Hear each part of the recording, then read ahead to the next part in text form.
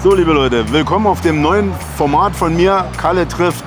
Und heute treffe ich den Flying Uwe, sehr naheliegend, mein Chef oder mein Geschäftspartner, äh, weil Hamburger Jung. Hamburger Jung, wir sind ja, ich bin ja bei ihm unter Vertrag gekommen, er hat mich unter Vertrag genommen, weil ich ein geiler Typ bin und das Ding rocken soll für Smile Dogs. Nein, Uwe hat mich einfach weggeschnappt vom freien Markt und jetzt machen wir zusammen verschiedene Projekte. Heute ist Uwe mein Gast auf Kalle trifft Channel und ich würde sagen, ich zeige euch mal so ein bisschen was von meiner alten Hut, vom Kiez. Wir sind auf St. Pauli hier.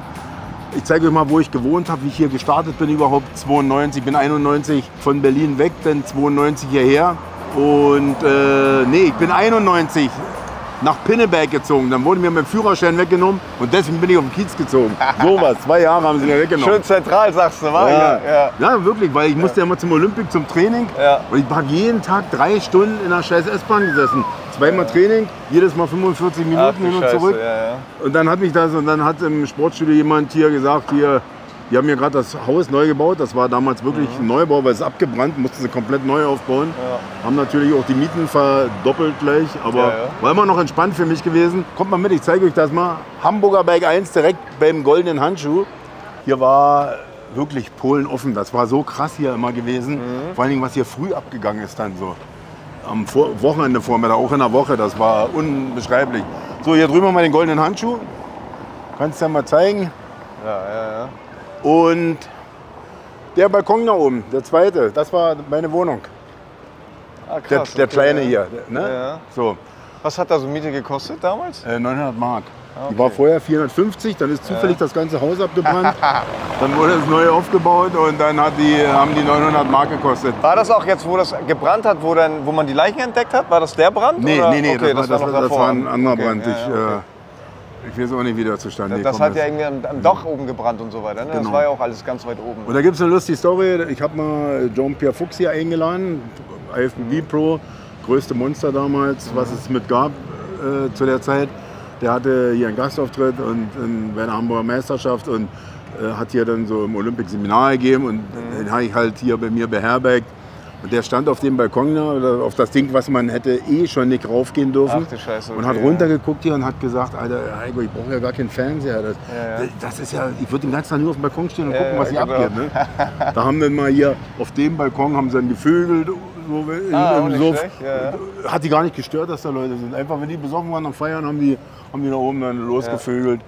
Ähm, Also das war sozusagen dein Anfang hier, ja? das war mein Anfang. 92 bis 2000 habe ich hier gewohnt und äh, habe aber selber auf dem Kiez nichts zu tun gehabt. Habe meine Geschäfte in den umliegenden Puffs gemacht halt äh, und bin dann, wie ihr alle wisst, 2000 Profi geworden und wollte dann so Saubermann-Image haben, wollte das hinter mir lassen, weil das war ein Teil von einem Abschnitt. Das hat mich so weit angetrieben, um Weltmeister und Profi zu werden. Und dann musste ich hier weg, bin ich nach Berlin, Trainerwechsel gemacht, Wohnungswechsel. Hat alles nichts genützt, aber ich habe meine Profikarriere dann von Berlin aus bestritten, bin dann zwischen Amerika und, und äh, Berlin dann immer gependelt, weil es in Europa zu meiner Zeit ja keine Shows gab. Und ähm, bin dann wie ihr alle wisst, 2008 habe ich mich ja verletzt. Da habe ich mir hier die beide Quadrizep abgerissen Wie kam das? Beim Go-Kart fahren. Ach du Scheiße. Mit den Berliner Jungs. Ganz sinnlos, ja? Total sinnfrei. Ich wollt, obwohl ich wollte jemand helfen und bin mit 140 Kilo, wollte ich aus dem Ding so katapultartig springen. Ja. Und dabei ist es passiert halt. Krass. War, ey Uwe, das war ein Schmerz, kannst du dir nicht vorstellen. Das war wirklich das hat schon abartig. richtig Peng gemacht, ey. Ja. Also, und dann äh, war ich, wie gesagt, in Berlin. Hatte ich eh, ja, das ist mir alles zu windig geworden da irgendwie. Weil ich war ja da auf der Oranienburger Straße dann tätig gewesen. Und das hat auch alles nicht mehr gefetzt. Ist halt, ja, Menschen verändern sich halt. Und ich habe ja damit angefangen, weil es cool war, weil ich loyale Leute um mich rum haben wollte und weil es einfach geil war, ein anderes Leben. Das- Das war genau mein Ding so. Ne? Und Ja. wenn die Leute dann uncool wären und äh, dann so im Hintergrund Scheiße läuft oder die mit anderen Worten, die nicht mehr gerade sind, dann muss ich mich verpissen, weil ich kann mir die Scheiße nicht mehr reinziehen irgendwann. Verstehe, okay, ja. So, dann habe ich so alles vorbereitet für hier, habe jemanden kennengelernt, der hier zu tun hat, auf dem Kiez. Ähm, der hat mich dann rübergeholt von Berlin, hat mir alles beigebracht, hier, wie hier die Regeln sind. Hier, hier waren ja dann ganz klar definierte Regeln. Das war wirklich äh, generalstabsmäßig durchorganisiert. Kennt man aus der einen oder anderen Dokumentation auf YouTube mittlerweile, glaube ich. So. Hat, hat, mich, hat mir total Spaß gemacht, weil äh, durch, mein, durch meine sportliche Laufbahn weiß ich ja, dass nur durch Regeln und Disziplin alles funktionieren kann. Macht man so halbe Scheiße, weißt du selber, Uwe, Ja, funktioniert nicht. Fliegst du. Und das konnte ich halt mit hierher nehmen. Ja. Und dann habe ich hier dufte Jungs kennengelernt. Ich war auf der anderen Seite, hinterm Hans-Albers-Platz. Da ist die Rotlichtkneipe, wer schon mal hier war. Das war unser so Headquarter gewesen, so kann man das nennen. Und dort habe ich dann äh, mit den Jungs so abgehangen und von dort aus haben wir unsere Unternehmung geplant. Von dort aus haben wir äh, den Stress beseitigt und äh, dies und das. Oh, hier, kick mal, Zuhörer. Umsonst auch noch. Gratis.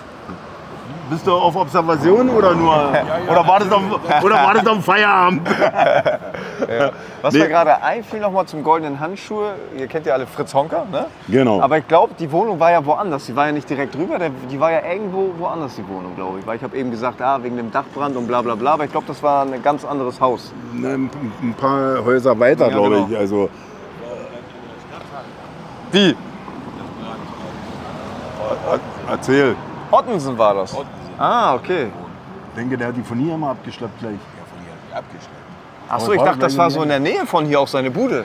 Ah, okay. Also hier haben, wir einen, hier haben wir einen direkten Nachfahren von Honka, der uns genau erzählen kann. wo Von der das- Hamburger Energiewerke hier. Siehst du, wusste ich selber nicht. Ja, Habe ich wieder nicht, was krass. gelernt. Ja, ja. Und äh, übrigens, was man, der Handschuh, der hat noch nie geschlossen gehabt, genauso wie der Elbschlosskeller. Die war noch nie zu. Seitdem es die seit 15 Jahren oder Also so. ich bin ja mal ehrlich, ich würde da gerne einmal mal reingehen, um mir mal ein Bild zu machen. Ich weiß nicht, ob wir da drin filmen dürfen, keine Ahnung. Ja, Wegen mir, ich habe da keine Schmerzen mit.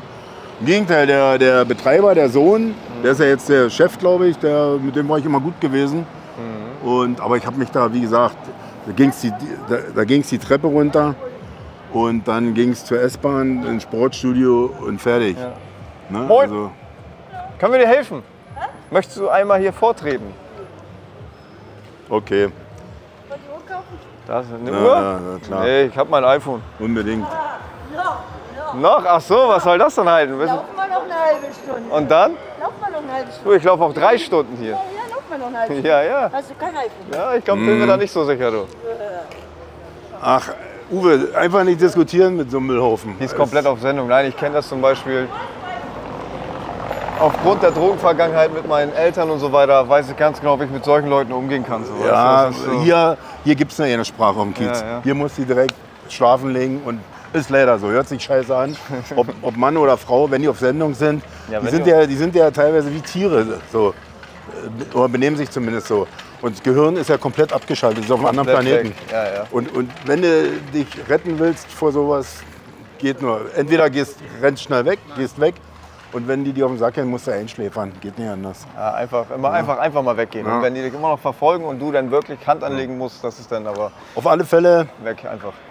Hamburger Berg hat sich auch viel verändert. Viele Läden sind geblieben. Hier, hier, haben wir, also hier ist auch immer richtig was los. Am Wochenende muss man dazu sagen, weil es alles so kleine Billiglädchen sind. Rosis Bar und äh, die, die ganzen. Hier sind ja auch viele Studenten. So Hamburger Berg ist ja so richtig, Richtig. so für wenig Geld saufen. Richtig, So, ne?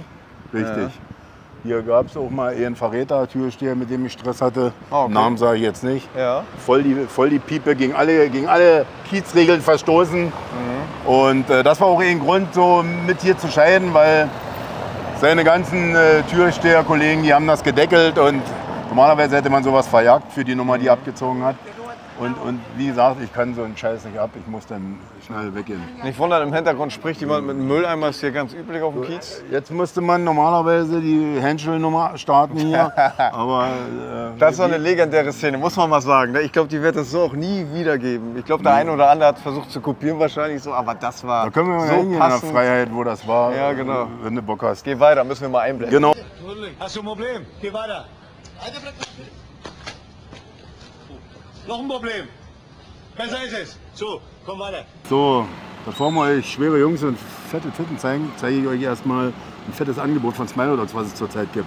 Wir haben nämlich alle Produkte bis zu 50% vorreduziert. Ab einem Mindestbestellwert von 70 Euro bekommt ihr mit den Athletenrabatt, in dem Fall ist es Uwe oder Heiko, nochmal 20% obendrauf. Wenn euch das immer noch nicht reicht, bei einem Mindestbestellwert von 100 Euro gibt es ein T-Shirt oder ein Top obendrauf, immer obendrauf. Und bei einem Mindestbestellwert von 200 Euro haben wir eine hochqualitative Leggings und eine hochqualitative Regenjacke für euch. Einfach mit in den Warenkorb packen, habt ihr dann alles gratis oben drauf dazu. Viel Spaß beim Shoppen, viel Spaß beim Tragen. King Kalle. So, so, das wie gesagt, hier bin ich gestartet von 92 bis 2000. Dann war ich äh, bis 2010 in Berlin und Amiland. Dann bin ich 2010 wieder zurückgekommen. Dann bin ich auf die andere Straßenseite gewechselt rüber. Also viele wissen ja nicht, wie das hier aufgeteilt ist. Für die ist ja das Kiez alles eins. Ich habe gelernt, dass man die Straßenseite meidet, weil erstmal gehört es zu anderen Klicken und dann gibt es hier nur Ärger. Ja, ja. Ne? Und den unnötigen Ärger, den kann man ja vermeiden. Ne? Wenn ich mich da drüben für was gerade machen muss, äh, weil die jetzt äh, die Frauen belästigt haben, angefasst haben, geschlagen haben, dann äh, sowas dost man ein, ganz klar. Aber äh, hier jetzt irgendwas probieren und man darf nicht vergessen, auf St. Pauli ist alles besoffen oder auf Droge. Und äh, kennen ja sicherlich viele von den Frankfurter äh, Bahnhofsviertel oder keine Ahnung Ja, was. ja. Stadtland ja genauso. man, man muss da, dann nicht versuchen, ins Wespennest zu stechen, auch wenn man dann vielleicht nur äh, ein kurzes Zeichen geben muss, dann sind die anderen Jungs da, aber Mhm. man bringt die alle unnötig in Schwierigkeiten, weil das sind alles keine Kinder von Traurigkeit gewesen, mit denen wir hier zusammen waren. Und wenn jemand von uns in Gefahr war, dann gab es natürlich äh, richtig Strafe halt. Ne? Also Mhm. Was gab's da, so da, da, wurde, da wurde nie diskutiert. Ja. Da wurde einfach aufgesprungen. Ja, okay. Fertig. Ne? Und um das zu klären und Guck mal, die sammelt jeden voll, Alter. Das gibt's nicht. Jeden Ja, ja. voll, Alter. Ja, und das ist wie gesagt die Scheißseite eigentlich hier. Deswegen Ja. war ich hier nie gewesen. Das war wirklich wie so eine Trennlinie. Ich bin nicht feiern gegangen hier. Das war alles tabu, weil ich so gelernt habe und Regeln respektiere ich halt. Ne? Und hat ja auch sehr gut funktioniert für mich. Das heißt auch im Endeffekt, also nicht feiern, keine Drogen nehmen, äh, sich Feiern auf jeden Fall, keine Drogen okay, nehmen, das war bei uns. Ne? Also bei uns war so äh, stillgeschriebenes Ding. Unsere Clique, wir nehmen alle keine Drogen. Ja. Feiern natürlich, Wochenende, wenn du posieren gehst. Muss, Ja, okay, dann musst du, das ist ja eigentlich dein Job auch, ne? So, net, So. Bist du networken? Genau, Flasche auf den Tisch stellen oder ein paar Flaschen auf den Tisch stellen. Also posieren, wollen wir das mal für den einen oder anderen erklären? Viele kennen das Wort ja auch gar nicht. Ja, Posage. Aber wenn man am Wochenende lernt man halt seine neue Belegschaft oder seine neue Freundschaft äh, oder Freundin kennen. Und dann äh, ist man natürlich so, wie man in der Disco normal eine Freundin kennenlernt, Genau. so gehen wir auch. Bloß wir haben halt äh, ein anderes Ziel im Hinterkopf. Ne? Genau. Und, äh, und es muss aber passen. Da wird, wie gesagt, bei uns hat sich von allen anderen äh, Systemen in Deutschland unterschieden, muss man, kann man wirklich ganz klar sagen.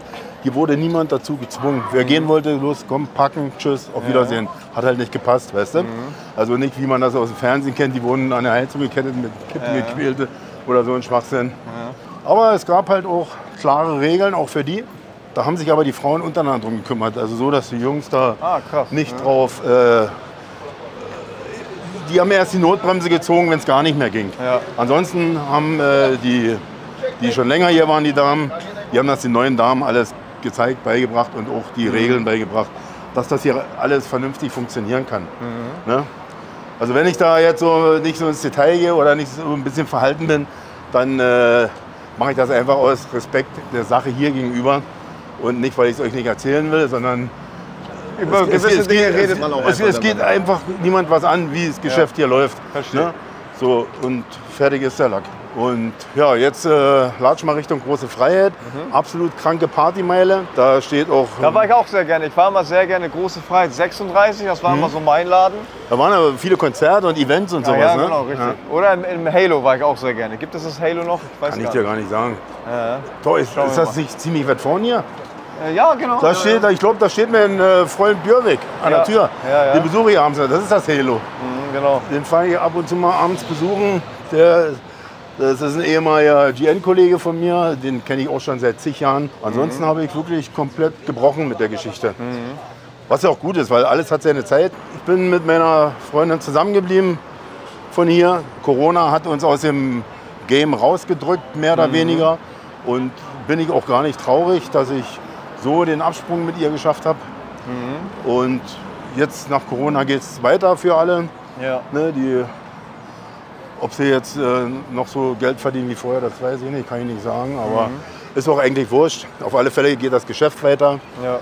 Und alles hat sich wieder so ein bisschen normalisiert, worüber, glaube ich, alle froh sind, auch die Touristen. Ja. Weil das war ja hier, die, guck mal, St. Pauli ist ja so ein, Urkultding. Und das war ja genau. vom Aussterben bedroht dadurch, Ja, ja, durch genau. diese Geschichte. Ne, darf man nicht vergessen, was die Leute alle für Schwierigkeiten hatten. Die Ladenbesitzer, die hatten leere Läden und mussten Komplette trotzdem Miete, und mussten ja, ja. Miete weiterzahlen. Genau. Und das, also, die, sind ja, die waren ja alle mit Kosten überschüttet auf einmal. Ja. Jetzt würde der eine oder andere sagen, ja, haben sie auch jahrelang die Taschen dick gemacht, aber das eine hat ja mit dem anderen nichts zu tun. Wenn auf einmal der Hahn zu ist und die Kosten gehen weiter, dann. Und es ist ja nicht so, dass hier alles Millionäre sind, die hier einen Laden haben. Ne? Hier müssen, viele müssen kämpfen und gucken, dass sie zurechtkommen. Na, guck mal, jetzt sind wir hier auf dem Beatlesplatz. Jetzt sind wir auf dem Beatlesplatz. Das, äh, vielleicht, vielleicht kannst du ja kurz was zu den Beatles erzählen, dass die eigentlich hier Ihren ihre, ersten Auftritt hatten, ne? Richtig? ihre Karriere haben die hier gestartet. Genau, die Beatles haben tatsächlich, jeder kennt die Beatles, die bekannteste Band der Welt.